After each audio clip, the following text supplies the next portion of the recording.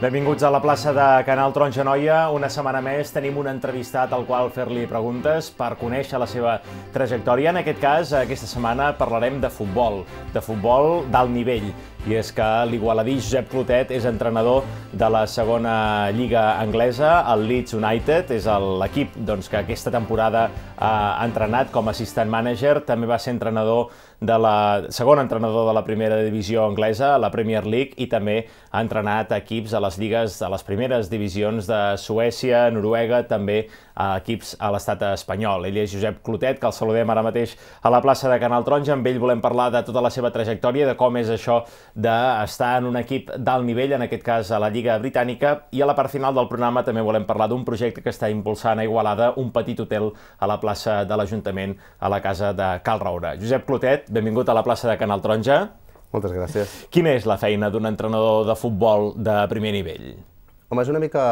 és bastant variada, bastant variada perquè t'implica no només el que entenem tots, que és el tema de preparar l'equip i, i disposar-lo per, per, per poder competir i guanyar partits, sinó a més a més has de, ets responsable una mica de, del futur a curt termini de, de, de l'entitat en la que treballes i de la planificació a mitjà termini. Has d'estar pendent de, de quines són les evolucions de, dels altres equips, també dels altres mercats, buscar noves oportunitats de cara a assegurar el futur del, del club i, a més a més, amb la responsabilitat total que, que deriva de, del fet de responsabilitzar-te del, de, del rendiment de l'equip, no? a nivell immediat. Hi ha una tasca tècnica i una de psicològica? Aquestes serien les dues línies de treball d'un entrenador? Sí, molt important.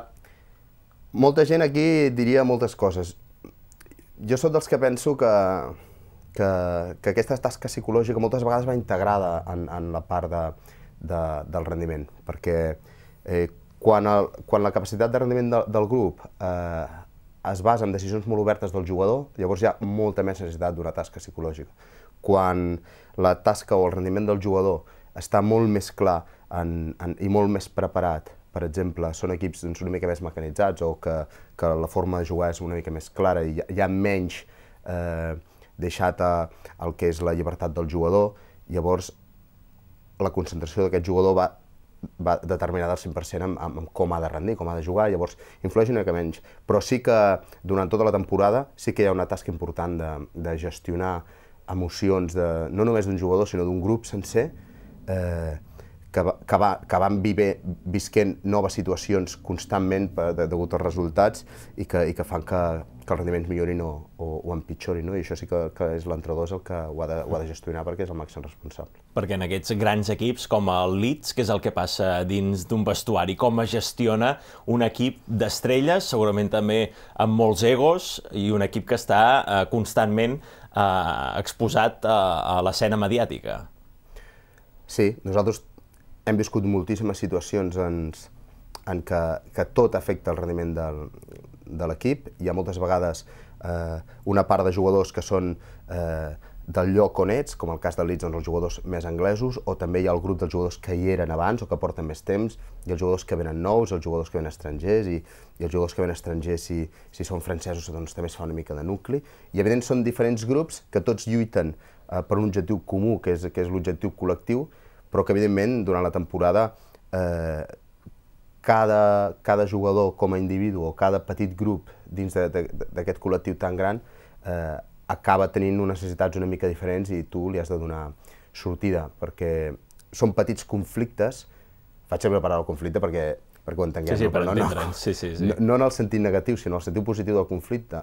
Eh, amb qualsevol grup humà, el futbol no deixa de ser una feina on, on uns, un grup de 30 persones es posa d'acord en, en, en mirar d'aconseguir el màxim rendiment possible per aconseguir un objectiu amb un entorn de competició molt alt, eh, perquè tots els altres equips volen el mateix, eh, i aquests petits conflictes són aquells petits passos que tu has d'anar desgranant i superant i, i aconseguint per fer que, que, que cada cop més tots pensem menys en nosaltres o en, en cadascú i cada cop pensem menys en, en més, perdó, amb el, amb el col·lectiu, no? I amb com ens enfrontem. I el rol d'un entrenador és el d'un company més, és el d'una autoritat a dins del vestidor, és a dir, quan us tanqueu al vestidor, què és el que passa allà dins? Sí, el rol de l'entrenador és bàsicament saber entendre, saber captar, predir una mica no? eh, cap, on, cap on poden sorgir aquests petits, eh, aquestes petites situacions que poden tenir una afectació en el rendiment i com les podem gestionar. L'entrenador avui en dia, per sort, té, té un equip de treball que és molt important. L'entrenador ja no entrena directament, l'entrenador treballa amb els jugadors a, a través del, del seu staff i, i l'staff, evidentment, doncs, són individus que tenen arribada dins del grup de jugadors d'una manera o d'una altra i, i llavors l'entrenador a partir d'això gestiona eh, cap on dirigeix el grup en funció de, de tot això, no? i té la capacitat, ell sempre, de tenir una visió molt més àmplia. No? Què passa quan hi ha una victòria i quan hi ha una derrota? Si s'explica no passa res. Jo penso que nosaltres ho hem viscut molt, perquè és molt diferent el futbol a tot arreu, no? I, i a Anglaterra jo he vist, per exemple, hi ha certs hàbits que, que aquí no es tenen, i, i quan vas allà, jo he tingut la sort, perquè sempre he treballat amb anglesos, excepte el primer any al Swansea que, que vaig treballar amb Michael Laudrup, però a part d'això sempre he sigut amb Gary Monk, no? que, és, que és anglès, i sempre vaig veure que, que s'han d'explicar. A Anglaterra, per exemple, després d'un partit, l'entrenador ha de comentar als jugadors, abans que es dutxin, ha de comentar què ha passat, com, com, ha, vist la, com ha vist el partit, com ha vist la situació, ha de fer una mica de resum i una mica d'encabir de, totes aquestes emocions que tots els jugadors tenen una mica latents i, i, i fer com aquest petit resum per, per, perquè facin el seu reset i llavors a partir d'aquí ja es dutxen i cadascun afronta el seu dia de festa. No? Eh, aquí a Espanya això no, no és habitual, no, no és habitual, l'entrenador no parla fins al proper entrenament. No? Parla abans a la roda de premsa que no pas al vestuari. Correcte, doncs, no? sí. De cara al vestidor no parla mai fins, normalment, eh? fins, fins al següent entrenament. Llavors, durant aquest temps tu analitzes el que ha passat i llavors ets capaç de, de, de donar a la plantilla potser un, un missatge mm -hmm. més, més calculat. No? Perquè què és el que ha d'explicar l'entrenador en cas de victòria i què és el que ha d'explicar en cas de derrota? Jo penso que el que és molt important és que un entrenador, quan portar una empresa, que, que se sàpiga explicar per què s'ha guanyat o per què no s'ha guanyat i per què s'ha perdut i, o per què no s'ha perdut. Aquests, el resultat, per què s'ha arribat a aquest resultat i per què l'hem aconseguit. Perquè moltes vegades aconseguim un resultat i guanyem i no sabem què ha passat perquè poguessin guanyar, senzillament potser el rival ens ha ajudat i tenim una lectura errònia. Jo penso que això és molt important que arribi el jugador, el per què, el per què hem guanyat i el per què no hem guanyat. Perquè la tasca vital de l'entrenador, precisament per millorar el rendiment setmana rere setmana, eh, amb una feina que, que realment tens molt poc temps per, per aconseguir resultats, no és com una empresa que tu et lloguen i, i pots tenir 3 anys de, de, de treball. Tens un examen cada setmana Correcte. i a vegades dos cops a la setmana, no? Correcte, jo no volia dir, però ja m'ho has dit tu, no? Eh, sí, llavors penso que és molt important corregir els errors, perquè si cometem uns errors avui i els podem corregir demà, eh, potser els cometrem menys després, no? I al final jo conec molts entrenadors de molt a nivell, per exemple, Marcelo Bielsa és un entrenador que corregeix molt bé els errors dels seus equips, i, i els equips sempre li començaran molt pitjor del que li acabaran. Uh -huh. eh, li començaran amb un rendiment, evidentment, cometent molts errors, però mica en mica es van polint, es van polint, i al final arriba un nivell de rendiment òptim d'aquell equip. Clar, perquè suposo que a vegades hi ha victòries amb regust de derrota i hi ha derrotes que tenen un regust de victòria. Sí, correcte. I això s'ha d'explicar al jugador. Això s'ha d'explicar perquè ell sempre eh, tingui un mirall real de quina és la situació, per evitar, perquè el jugador al final, eh, allò és un entorn seu de treball, per ell allò és el més important a la vida, evidentment, perquè ells, ells la confiança del, del fet de, de, de jugar i competir, de sentir-se útils, els dona confiança per afrontar la vida i, i, i la seva, el seu objectiu vital, senzillament, és, és jugar per ser reconeguts. Eh, I això els, el, els genera també una, una situació d'estrès si no poden jugar. Llavors, aquestes coses s'han d'explicar perquè aquest mateix jugador rebrà inputs de, de molta altra gent, no? a fora de, potser del seu representant, o dels seus companys, o de la família, o d'amics, eh, i és important que, que l'entrenador en aquest sentit sempre sigui una mica la balança que dir, mira, escolta, aquí el que ha passat és això, saps? I, i una mica això jo penso que és el que, el que, el que ajuda a millorar el rendiment mica en mica. Entrem més en la part tècnica, com mm -hmm. es prepara tècnicament un partit, com s'organitza una setmana eh, tipus en la qual hi hagi competició al cap de setmana, què passa cada dia des del dilluns fins a arribar al cap de setmana? Doncs la part més important és, és tenir en compte la recuperació d'on vens. Hem parlat també una mica d'un altre tema important, que és la correcció dels errors. Si tu vens a jugar un partit, és molt important. El més important després d'haver jugat un partit és recuperar físicament eh, l'esforç fet en aquest partit. Per tant, la primera fase de la setmana sempre serà recuperació física, no? eh, per poder encarar el següent partit una mica buscant una, una millora física de un, un estat òptim de l'equip. No? Eh, llavors, al principi de la setmana, un cop s'ha fet aquesta recuperació, o es pot intercalar amb la recuperació, eh, sempre hi ha la part que, que dediquem a, a la correcció d'errors, què s'ha fet malament a l'últim partit, com corregir-ho, i això ho entrenem també, no? una mica per, per tancar el cercle i fer que l'equip mica en mica millori el rendiment. Llavors, la part central de la setmana, que acostuma a ser en blocs de, de, de, de rendiment de 4 dies, doncs la part central seria el dimarts, si tornem a jugar dissabte, seria dimarts i dimecres, és una mica el, el treball fort a nivell físic. El, el primer dia fem un treball intens a nivell de, bàsicament a nivell de força, que tot es fa relacionat amb, evidentment amb, amb situacions de joc, i el següent dia, el dimecres, farem un, un, un treball relacionat amb, amb, amb la resistència, una mica per, per anar tocant les qualitats físiques en el dia que toqui per, per poder tenir una mica de supercompensació a finals de setmana. I el, i el dijous hi ha d'haver una, una mica de recuperació també física per, per l'esforç fet aquests dos dies, on aprofitem per llavors incidir en molts aspectes tàctics de, del partit següent, on aplicarem la pilota parada, tant dijous com divendres, divendres també els treballs de velocitat, i moltes situacions tàctiques molt específiques de cara al següent partit. Llavors, a part del que és aquesta setmana, també s'han d'encabir no només el que hem parlat de la correcció d'errors del partit anterior, sinó què és important que nosaltres fem o què hem de fer molt bé en funció del rival. En funció d'aquest rival. Perquè tot és molt maco de dir, no, no, jo jugo futbol a la meva manera i, i jo jugo com jugo i el rival s'adapta. Això és una cosa que jo he sentit parlar moltes vegades, però cada cop ho sento menys. A nivell professional no ho he sentit mai, no? perquè eh, no, no té sentit, perquè tu jugues contra un equip que té unes qualitats i tu t'has d'enfrontar aquestes qualitats, les has de conèixer i les has de saber neutralitzar, perquè si el deixes eh, et poden fer mal. No?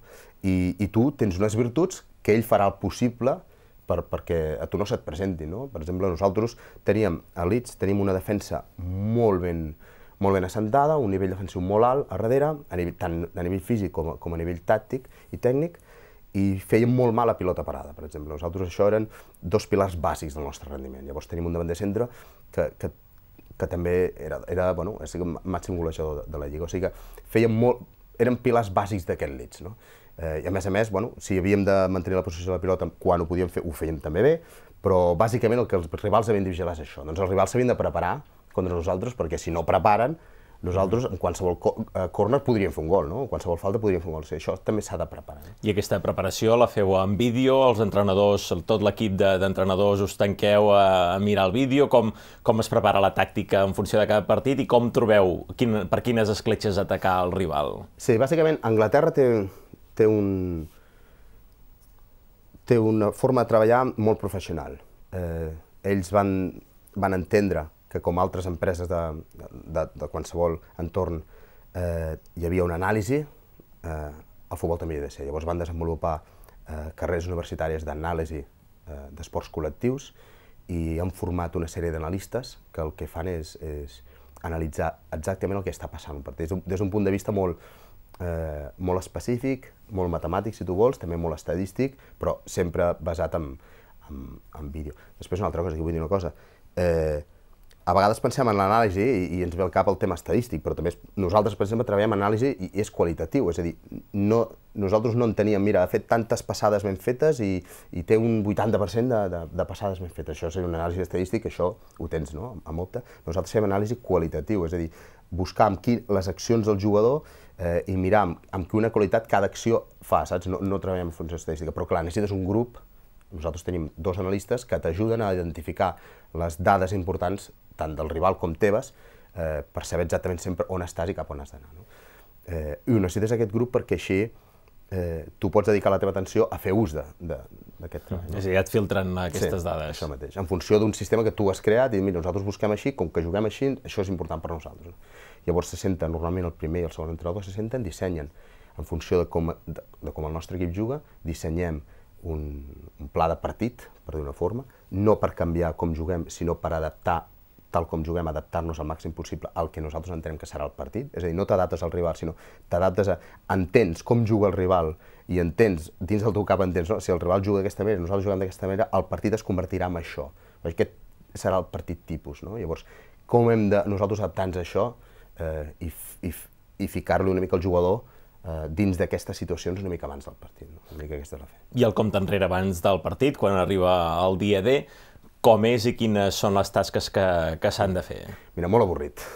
No us sembla, però jo sempre li parlava, i ara amb el Gary, li parlava molt de, de, del dia del partit, realment és molt avorrit abans del partit. Primer, perquè si jugues a casa, nosaltres anàvem 3 hores i mitja abans, dinàvem tots allà, i, i després de dinar ens, ens quedaven 3 hores fins que el partit comencés. I d'aquestes 3 hores fèiem la xerrada, que nosaltres fèiem la xerrada per línies, per exemple, que fam... variàvem una mica setmana en setmana, no? però varia... eh, treballàvem, doncs, fèiem una xerrada a la defensa, després els mitjos o els davanters o, o els jugadors de fora, els jugadors de dins. I nosaltres en 20 minuts una mica fèiem tota la xerrada. I el jugador a partir d'aquí s'anava al vestidor, es canviava, es preparava, es mentalitzava i començàvem l'escalfament 45 minuts abans. Per tant, hi ha molt poc a fer eh, i molt temps, no? Però clar, has de mantenir, has de dinar amb certa antelació per poder, per poder competir. Per tant, sempre hi havia la sensació aquesta de, d'avorrir fins que... Des... I després tot anava molt ràpid perquè el partit començava de seguida. No? Eh, el partit una mica és així, quan vas fora de casa és una mica millor perquè vas a l'hotel, eh, el menjar ja el pots fer a l'hotel, llavors vas després al camp i guanyes una mica més d'espai. Però el que és important el dia del partit és treure la importància que nosaltres no guanyarem cap partit el dia del partit. Això és el que és important. I el treball està fet d'abans. Sí, correcte. I l'últim missatge als jugadors abans de sortir al camp, quin és? Uh, se'ls ha de posar pressió, no se'ls ha de posar pressió? Uh, amb, amb quins inputs i amb quin sentiment han de sortir al camp? És a dir, què els hi expliqueu abans de sortir al camp? Això jo diria que és una mica en funció de, del partit, de quan jugues, amb qui jugues i de, i de com arribes tu al partit. Perquè si, si tu vens en una situació que portes 10 o 20 partits amb bons resultats, l'equip sempre tendirà a entrar una mica en autocomplacència, no? I, i això dificultarà el rendiment. Cada cop, com més guanyes, més difícil és guanyar després, no? I, i si estàs en una situació diferent, potser hauràs d'animar l'equip, no? Si estàs en una situació que necessites un resultat i que les coses no han estat bé, doncs hauràs de transmetre confiança i, i, i fer-los entendre que han de seguir concentrats en la tasca i, i donar-los aquesta confiança perquè el jugador eh, i el futbol en general i els aficionats, la confiança és molt volàtil, no? en funció de, del resultat, que no hauria de ser-ho, però, però ho és. I per això depèn molt de, de qui, amb quin estat tu arribes i contra qui jugues. Moltes vegades nosaltres ens hem vist en situació eh, on els hem hagut de, de pressionar eh, fortament abans de, de certs partits i ens hem vist en situacions aquest any doncs, que, que els hem hagut d'animar i de mirar que estiguin en confiança. No? Una mica fas la balança sempre. No? I quan surts al camp, abans del xiulet inicial, què és el que et passa per dins? Hi ha adrenalina, què és el que, el que hi ha quan veus el camp ple, la gent eh, animant, cridant? Què, què és el que sents com a entrenador que estàs allà al mig? Les primeres sensacions és de, t'absorbeix una mica un, un, una sensació de que estàs, de que estàs ostres, se, tot et marxa del cap, tot et marxa al cap i només et queda al cap el partit i, i, i la situació que estàs vivint. Eh, si a més a més això és eh, amb, un, amb un equip com el Leeds, on, on quan tu jugues a casa seran 35.000 persones que, que, que estan cridant en tot moment durant 90 minuts i des d'abans del partit això, eh, eh, evidentment t'endolla de seguida, saps? T'endolla de seguida i, i entres una mica en una, en una mentalitat de competició eh, molt gran, no? Jo crec que, que això és el que sents, però després sembla que no hi passa tot tan ràpid, que, però jo et podria dir que sembla que, que mentalment fas un parèntesi i, i tota l'atenció teva l'entorn te la condensa en el que està passant. No? I durant el partit, en què és el que més t'agrada fixar-te? Què, què, què és el que et fixes i quin és el teu treball durant el partit? Jo em fixo molt en, en què està passant. Jo em fixo molt en què està passant, en, en com el que nosaltres hem preparat i preveiem eh, en quina mesura està succeint pel nostre bé o no, i, i quins detalls que nosaltres preveiem del rival tindrien un efecte en el partit si l'estan tenint o no, i, i quin és el nivell de rendiment individualment que estem tenint de, de cada jugador d'acord amb aquest pla. No? I a més a més, si, si es pot detectar alguna situació que no s'havia previst, però que eh, pel que sigui el partit s'ha obert d'alguna manera i, i, i, i ho puguem aprofitar. I mires d'estar molt concentrat en això i, evidentment, en mantenir la concentració dels jugadors cadascun en la seva, en la seva tasca. No? I des de peu de camp, això es pot veure bé? Perquè a vegades dona la sensació mm. que potser ho veuen millor els telespectadors que estan veient-ho per televisió amb un munt de càmeres, amb la càmera aèria, que no pas els que estan ben bé a peu de camp. Jo per televisió em costa. Em costa perquè, de fet, nosaltres tot l'anàlisi per televisió veus molt, molt bé a nivell de, del primer pla el que està passant, no? Sobretot veus molt bé el jugador i veus... Ets capaç, jo si veig un partit per televisió, soc capaç d'adivinar bastant què està pensant fins i tot el jugador, no? en cada moment en què, què està jugant, una mica per l'experiència, però, però nosaltres per analitzar, per analitzar fem servir càmeres eh, de 360 graus aèries eh, on veiem tot el que està succeint. No?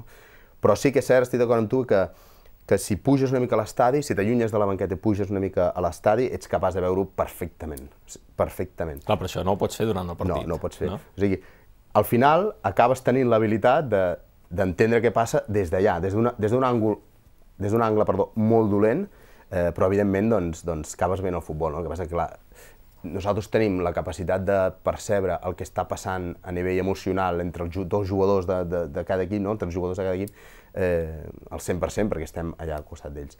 Però sí que és cert que, que des d'una mica més amunt tens una, una, una visió a nivell tàctic eh, molt millor. Has estat en, en clubs de primer nivell, com dèiem aquest any entrenant al Leeds United, a la segona divisió anglesa, també vas estar en un equip de la primera divisió anglesa, aquí a l'estat espanyol també, Suècia i a Noruega. En aquest uh, futbol d'alt nivell, quina és la relació que té l'entrenador amb tot el que l'envolta, perquè la bombolla del futbol té diferents actors, la junta directiva, els mitjans de comunicació, els jugadors mateixos, l'afició, com és la relació de l'entrenador amb tots aquests, els àrbitres, amb els altres agents que intervenen en aquest món del futbol, que, com us hi relacioneu? Hem de, hem de recordar que al final la funció de l'entrenador és, és, és treure el màxim rendiment a un grup de jugadors eh, i, fer, i fer que quan acabin siguin millors que quan van començar. Llavors, a partir d'aquí, has d'entendre quin paper juga eh, els altres actors en tot això i veure fins a quin punt poden ajudar a, a aconseguir. Jo penso que, per exemple, l'aficionat ajuda moltíssim. Ajuda moltíssim perquè l'aficionat vol que el seu equip guanyi i vol que el seu equip ho faci bé. I l'aficionat, sobretot a Anglaterra, l'aficionat valora l'esforç. No sé altres països, però jo a Anglaterra m'he donat compte que l'aficionat valora l'esforç. És a dir, que si tu... Eh, nosaltres, per exemple, aquest any hem fet una bona temporada si comptem que el Leeds venia de quedar 14 i 13. Aquest any vam començar a l'agost molt malament, i, i estava en posicions de descens, però després vam començar eh, millor, vam fer un equip nou, va haver molts jugadors nous, evidentment necessitàvem una mica de corregir d'errors i que tothom eh, es conjuntés bé, eh, però després hem, hem tingut molt bons resultats, hem estat en, en zona de playoff tot l'any i al final hem, hem acabat setens, ens ha faltat un punt eh, per seguir playoff. Podríem dir que els aficionats, per ells era una llàstima el no haver pogut, pogut fer, fer el playoff, però han valorat l'esforç i ha acabat sent un any de molt èxit pel club, no? un any de, de, de posar les bases pel, pel futur. Per, per tant, jo penso que l'aficionat, sobretot d'Anglaterra, valora molt l'esforç, és molt important aquest esforç, que això condiciona moltíssim el joc, moltíssim. Per això és la diferència entre el futbol potser espanyol i l'anglès, és, mm -hmm. aquesta és la diferència, que està molt condicionat per, per l'afany d'esforç de, de, que demana l'aficionat. Uh, altres actors, com les juntes directives, evidentment, aquí es depèn, perquè dins d'una junta directiva hi ha el que és pròpiament un empresari que vol guanyar uns diners a través d'això, o, o una junta d'aficionats que s'han fet càrrec del club, eh, com és el, el Barcelona, és una junta d'aficionats del club, perquè han de ser socis, perquè, perquè el Barcelona és un... Sí, sí, el model és diferent. És diferent. A Anglaterra hi ha més models eh, empresarials, tots els clubs són societats, Eh, el que passa que molts clubs tenen una part de soci, com, com el del Barcelona, que encara disposa potser del 20, o el 25 o el 30% del club. No? Uh -huh. Eh, però clar, això fa que dins de cada junta directiva hi hagi que tu veus que bueno, aquest està aquí perquè és aficionat i perquè és amor del club i el consideres únic, t'ajudarà igual que t'ajuda l'afició i, i després hi ha la part empresarial que el que volen, evidentment, que, que l'equip guanyi, perquè si, com més amunt, més diners jo rebo com a, com a drets de televisió. Això. Una mica conjuntar-ho. I a nivell de comunicació sí que és important. Jo crec que cada cop és més important l'entrenador ha, de, ha de veure que la seva comunicació, la seva imatge ha de ser molt professional, eh, fins i tot gestionada per, per empreses específiques que, eh, que gestionin això, perquè eh, si no és molt difícil, t'absorbeix massa temps, és una part molt important i t'absorbiria massa temps de la teva feina eh, com per, com per fer-ho fer, tu. Jo entenc que hi hagi gent que, que, que ho fa, no? però, però, però sí que penso que... Clar, perquè els mitjans de comunicació pressionen molt o són molt molt, molt, us, us llegiu els diaris, el que diuen l'endemà del partit, feu cas de les cròniques, de l'opinió d'uns periodistes o d'uns altres? Sí, Influeixen? Jo, nosaltres, en, en aquest cas, nosaltres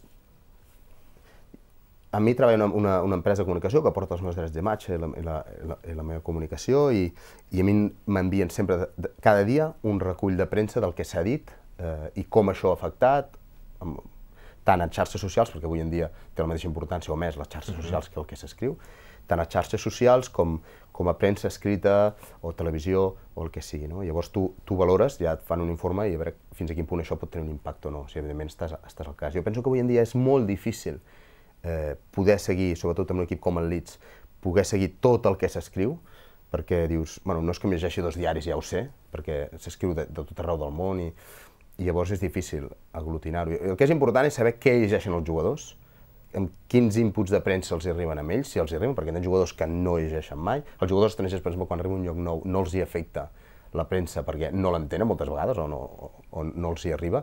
I per això fa que, que en cert punt és positiu, perquè no els hi afecta el que pensi la gent massa d'ells. No? Eh, jo crec que sí que s'ha de valorar una mica eh, tot, perquè tot té un impacte. Sí. I amb els àrbitres, com, com us hi porteu? Bé, al final jo, amb els àrbits, bé, no, eh, penso que ells fan la seva feina, eh, que no és fàcil, penso que a l'àrbit li va molt bé tot això que diu la gent que oh, és que arbitrar no és gens fàcil, és cert, no és gens fàcil, però bueno, eh, és una feina com una altra, suposo, perquè volen, escollit, sí, sí. Correcte. Llavors, eh, ells són responsables de, de les decisions que prenen i, i són responsables al 100% de les seves decisions i, evidentment, tenen les seves formes de mesurar-les. Jo crec que, que l'àrbitre eh, és un actor de, del futbol. Jo no sóc d'aquells que pensen bueno, que l'àrbitre s'ha d'ajudar o l'àrbitre no s'ha d'ajudar. Jo, jo penso que l'àrbitre està allà, ell, ell és conscient de la feina que fa. Eh, no has de fer res per perjudicar, evidentment, tu t'has de centrar en la teva feina, que és, que és competir, i l'altre equip ha de fer el mateix, llavors tot funciona. El que sí que és cert és que jo valoro molt positivament eh, aquest respecte que jo a Anglaterra veig per, per la figura arbitral, eh, perquè penso que sense ells tampoc hi hauria futbol. Si l'àrbit al final és, és una de les riques del futbol és l'àrbit, i sense ella no, no, no, no es podria jugar. No? Mm -hmm. En aquest futbol d'alt nivell en el qual tu estàs es mouen molts milions d'euros, les fitxes dels jugadors són de, de molts zeros a darrere. Per què tots aquests zeros? Perquè hi ha molta gent interessada en allò. O sigui, al final el futbol és, és, un, és una part que podríem dir que pertany a, a, a la branca de, de l'entreteniment. No? És el mateix anar a veure un partit de futbol o anar a veure un concert. O sigui, és, és, és entreteniment, la gent, després de treballar tota la setmana, vol entreteniment i tria quin vol. I, hi ha gent que li agrada la música, hi ha gent que li agrada el teatre, hi ha gent que li agrada l'esport, hi ha gent que dins de l'esport hi ha gent que li agrada el futbol. Les fitxes per què són altes? Perquè resulta que hi ha molta gent que li agrada l'esport i en, en aquest sentit molt específicament que li agrada el futbol. Com que aquest mercat és tan ampli, la gent és, és, està disposada a pagar doncs, des d'un euro a 20 o 50 o 60 per el que valgui una entrada o el que val veure, veure per televisió, està disposada a pagar perquè l'entretinguin durant, durant aquella hora i mitja. Per tant, això genera una capacitat econòmica eh, que acaba revertint en quina qualitat jo ofereixo, perquè quanta més qualitat jo ofereixi, més em pagarà aquella persona que ho vol veure. No? Llavors això acaba significant, evidentment, que aquestes fitxes eh, puguin ser altes. Eh, I després, sempre va en funció de, de, de l'oferta i la demanda. Jo penso que els millors jugadors del món estan molt pagats en la mateixa mesura que els millors cantants del món estan molt ben pagats. O sigui, és que és el mateix, perquè si la gent paga molts diners perquè vol veure a Messi, doncs és normal que Messi doncs, aquests diners li reverteixin a ell d'alguna manera. No? És el mateix que si jo vull veure un, un cantant i ve un cop l'any a Barcelona i em demanen 150 euros per entrada, doncs, escolta, doncs jo els pagaré. Clar, molta part d'aquells 150 euros mm-hmm. revertiran a aquell cantant que és, potser, potser és un, un ídol a nivell mundial. No? Per tu el futbol què és? El futbol, per mi, només té sentit quan és amateur. Només té sentit. És el futbol real és el futbol amateur, és el futbol del que, del que la gent juga perquè, perquè es diverteix, perquè li agrada jugar amb els companys o perquè és el seu club de tota la vida i, i, i sent allò, i sent allò que, que és que ha vingut de petit. No? Eh, el futbol professional eh, és una mica l'extensió, el després. Entra una mica amb això que comentàvem ara d'aquesta part eh, econòmica d'aquesta aquest, aquest, branca de l'entreteniment, no? i a vegades, eh, evidentment, t'agrada, perquè al final eh, t'agrada la competició d'aquest futbol, però a mi el futbol que m'agrada és aquell que ets capaç de...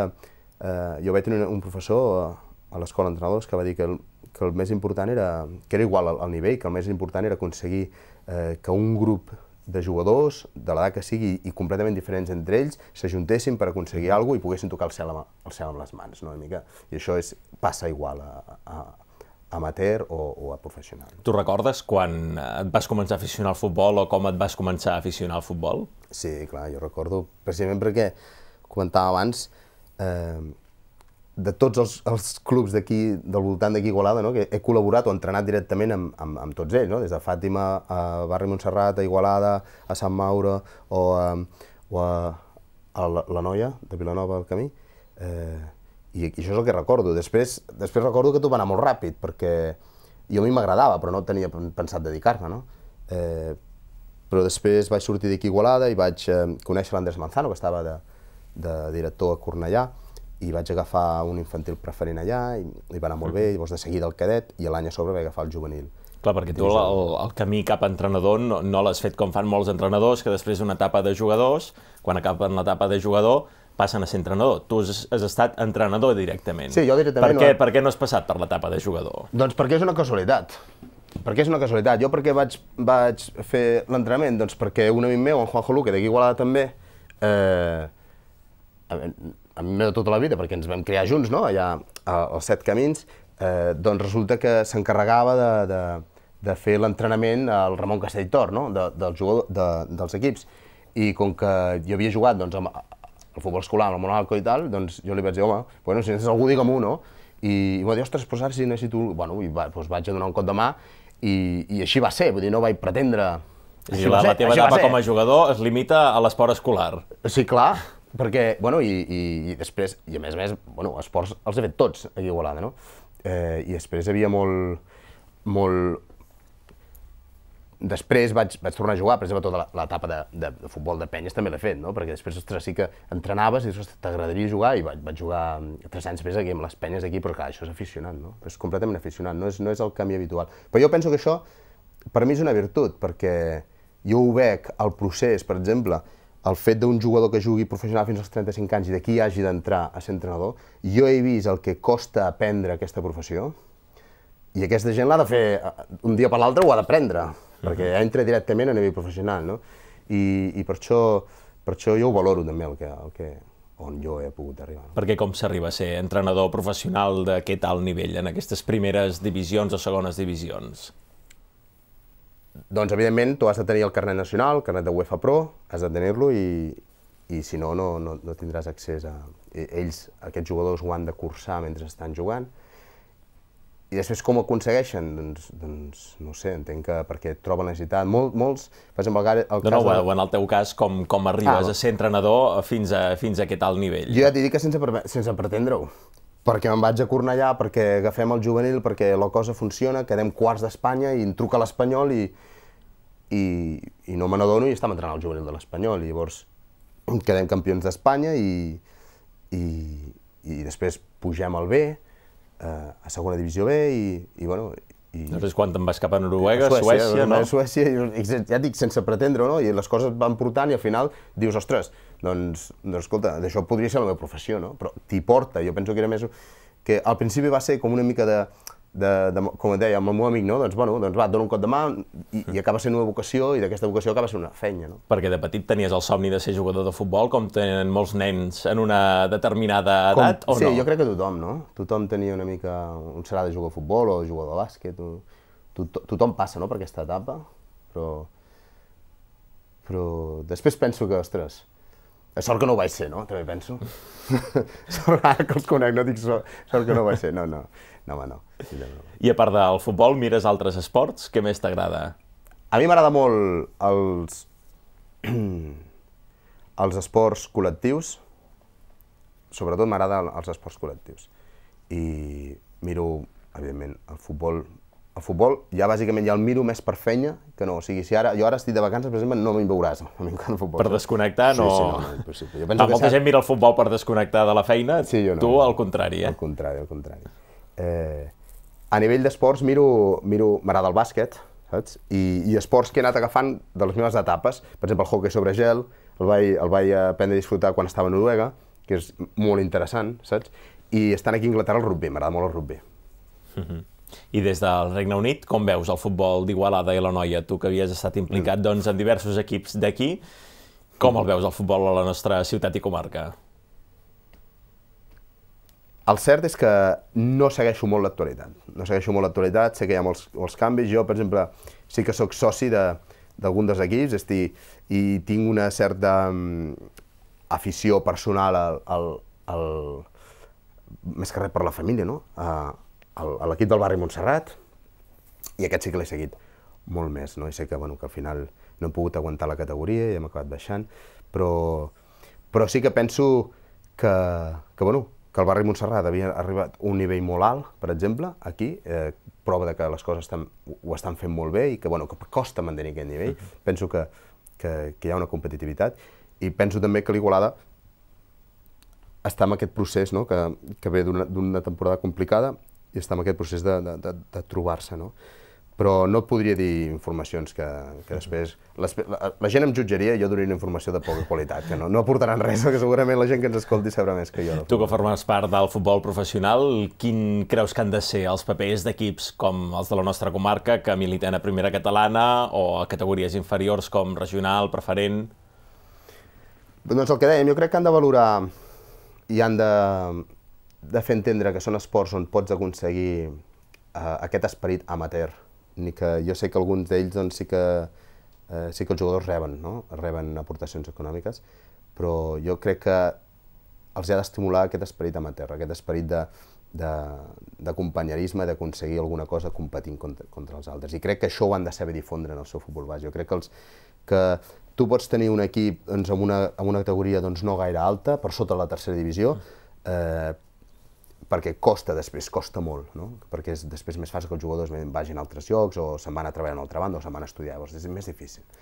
Eh, penso que és important que no hi hagin, que no hi hagin eh, fugues econòmiques grans i que, que, que estigui molt controlat el que es dedica sobretot a l'esport de, de primer equip i crec que, que hi ha d'haver molts recursos, molts recursos invertits en, en el que és el tema de la formació. Des d'aquí vull dir també una cosa que, que ara no sé, serà, no sé si serà gaire políticament correcta, no? però, però jo crec que aquí Igualada...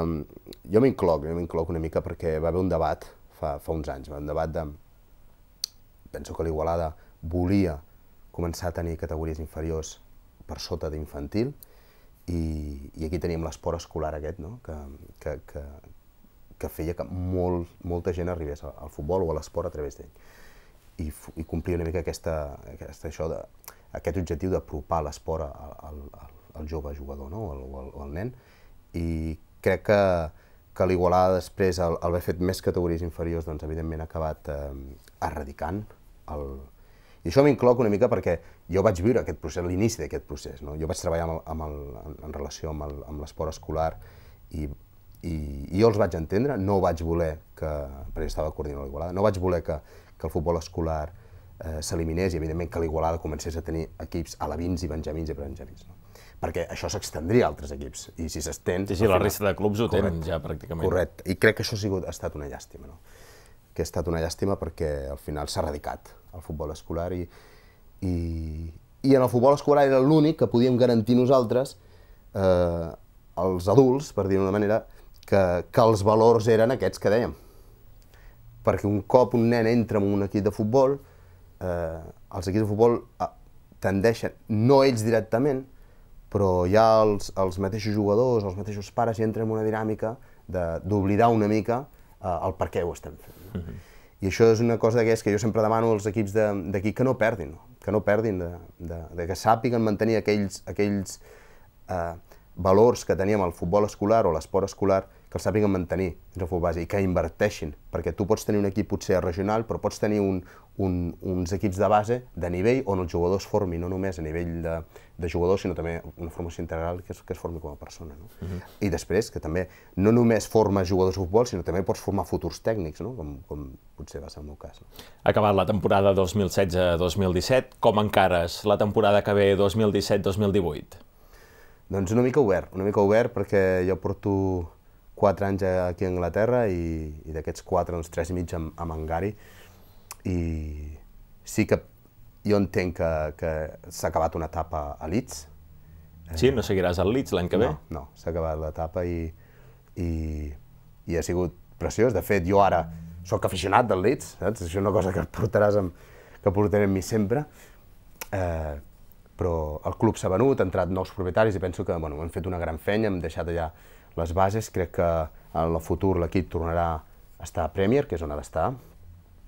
Eh, I una mica estic amb l'etapa aquesta de, de valorar, estic valorant moltíssimes mm, opcions de possibilitats, que ara algunes estan més properes, algunes més llunyanes i no, no tinc pressa. Estic en un moment que, que vull mirar molt bé el següent pas on, on serà i no et puc dir si serà ara o si serà més endavant de cara a la tardor o de cara a l'any que ve. No? Perquè si parlem més a llarg termini, on et veus o on t'agradaria arribar?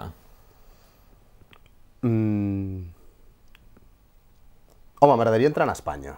M'agradaria entrar a Espanya perquè, ostres, ja que tot va començar aquí sembla, sembla una mica estrany, no? que hagis d'estar treballant a fora, eh, m'agradaria entrenar a Espanya.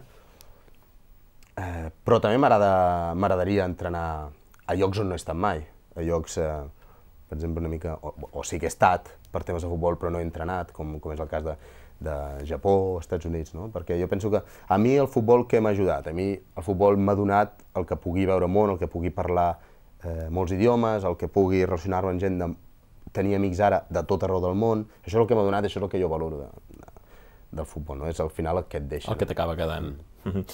Uh, acabem l'entrevista amb una última part dedicada a un projecte que esteu mm. impulsant a la ciutat d'Igualada, tot i viure durant mm. aquesta, aquests últims anys al Regne Unit. Uh, a Igualada fa pocs mesos he impulsat un projecte que és el de convertir la Casa Roure a la plaça de l'Ajuntament de, de la ciutat en un petit hotel.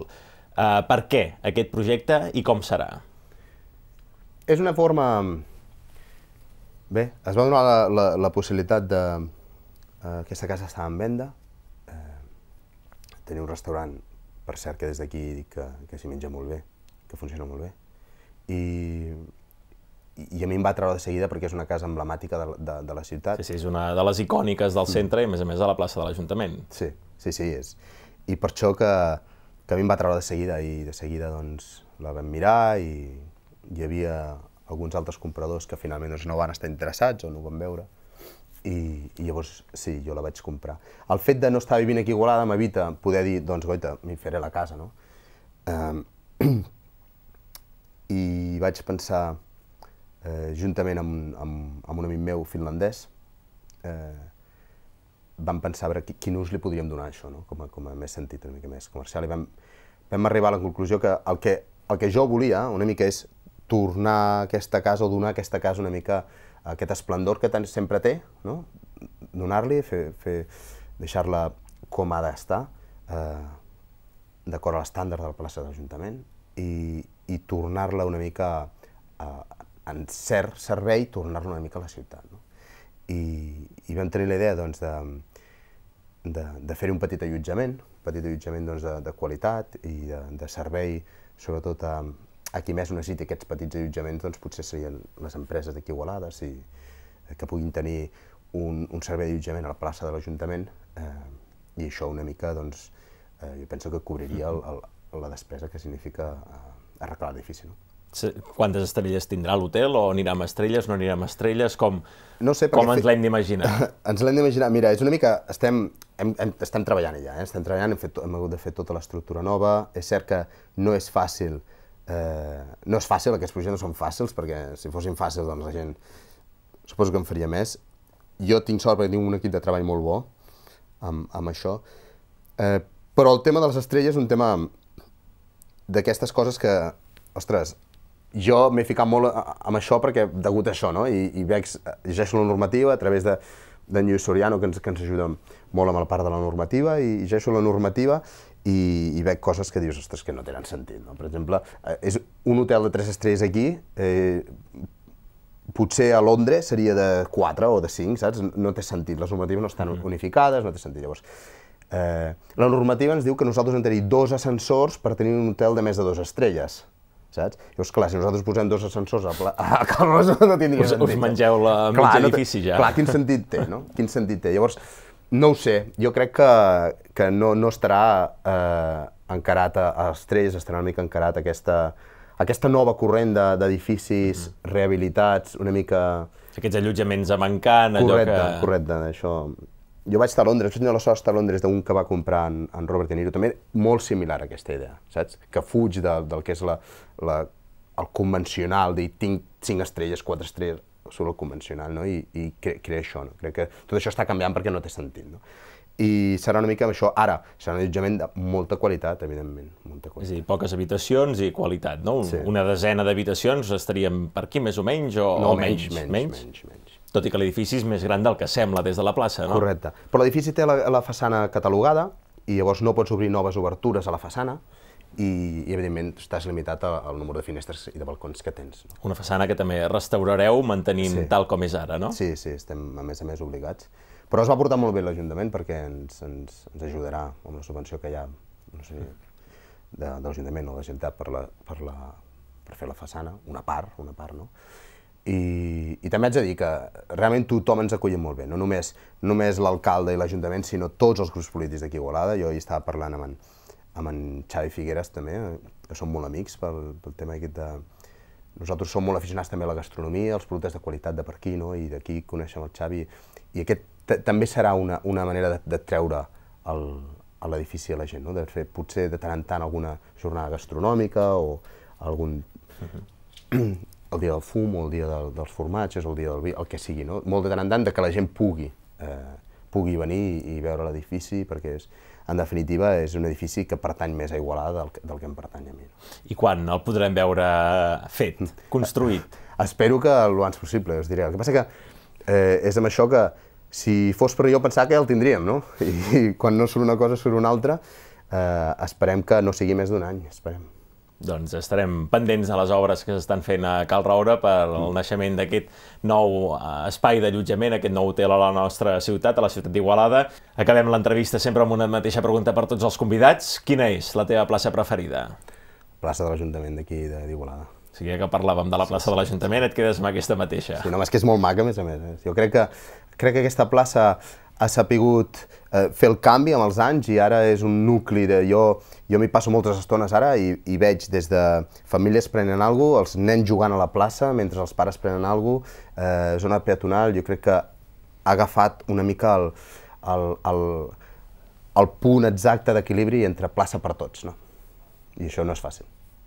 Josep Clotet, gràcies per haver estat a la plaça de Canal Taronja. Seguirem pendent de veure on t'ubiquem la temporada que ve, quan ja tinguis lligat el teu destí, i gràcies per haver-nos portat el teu testimoni com a entrenador professional, entrenador en aquest alt nivell, fins a aquesta temporada al Leeds. Recordem, també has estat entrenador a la Premier League, a la primera divisió del Regne Unit i també als països nòrdics i a l'estat espanyol. Moltes gràcies per haver-nos acompanyat a vosaltres. i seguirem els teus passos. Gràcies.